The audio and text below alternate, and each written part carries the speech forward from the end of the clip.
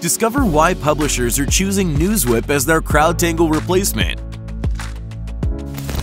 The Reddit function is incredibly useful for finding stories because you can find stuff on there that hasn't been written about yet. The alerts and info shared in the daily digest we receive from NewsWhip are acted upon multiple times each day. As a data source, they represent a meaningful percentage of where we find ideas for content already in the news cycle. If you want to understand what is happening across social and with your accounts or competitors, you have to use it.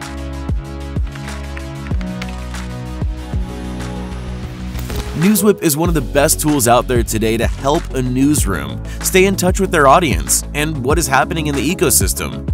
Bar none, it is amazing. Visit newswhip.com forward slash crowdtangle to learn more.